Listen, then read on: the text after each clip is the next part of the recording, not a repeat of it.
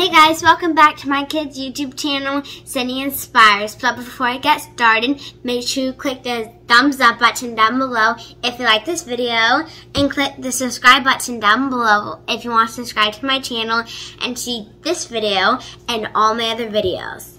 So let's get started.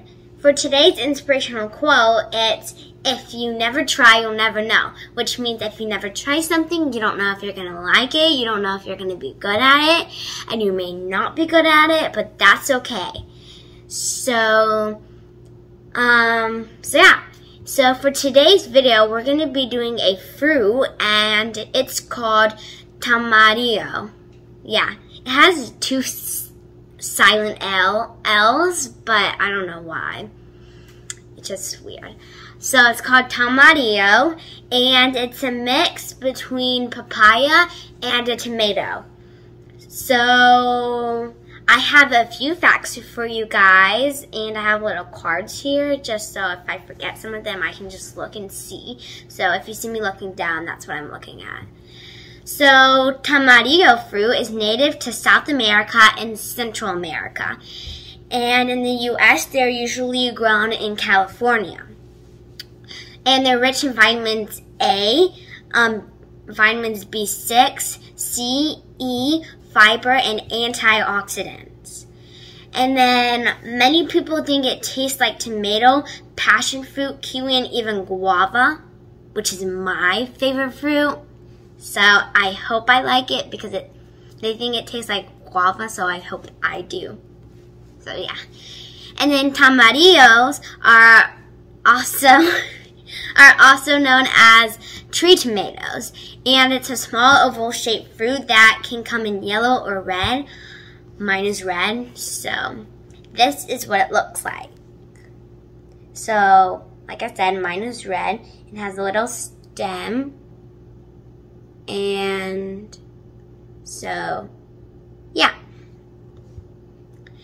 And then um, the flesh inside is orange with a lot of edible um, seeds that are black.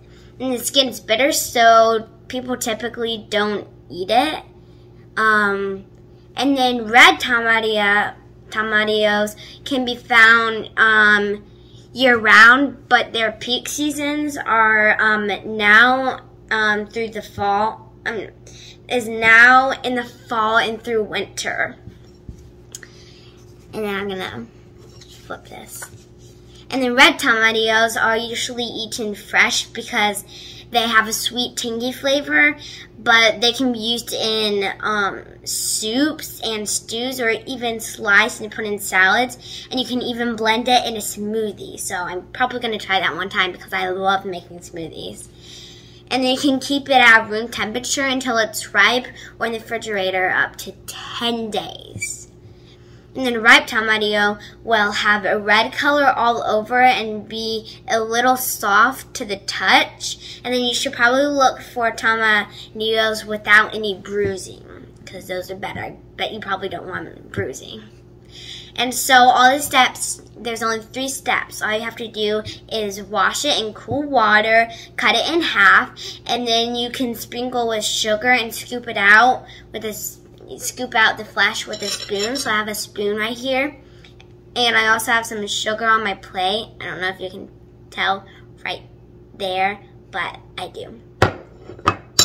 So what I'm going to do, I'm going to use my trusty knife and I'm going to put it on my plate. I'm going to cut the little part that has the stem.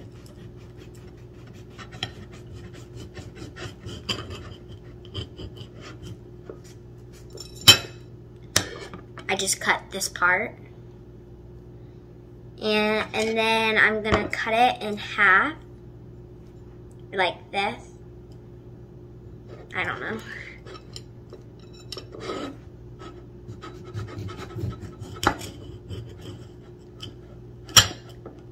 And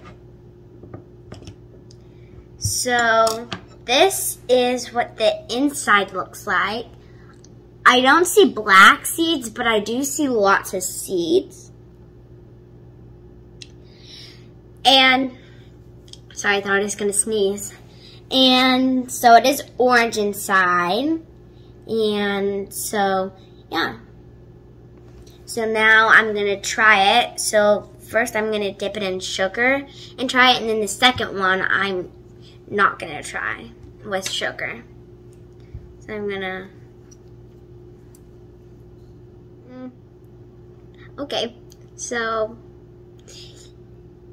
I just got juice in my sugar, that's okay. So I have it, and I guess I'll dip it in this. I guess I'll dip it in the sugar and try it.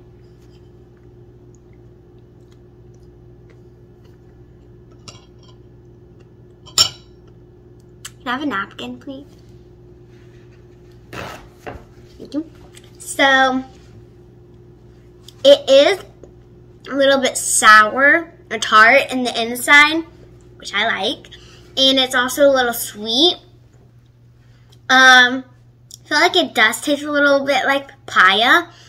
And there's one part of it that I just don't like because I don't like papaya. But I feel like I feel like at the very end, once I finish chewing, I taste the papaya, which I don't like. But then in the very beginning, once I bite into it, it tastes good.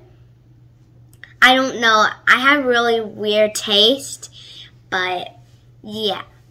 And so it tastes good. I liked it, just not really in the end. And then I'm going to scoop this one out. Oh, oh, I'm just, I'm just going to use the same piece and bite out of it without sugar.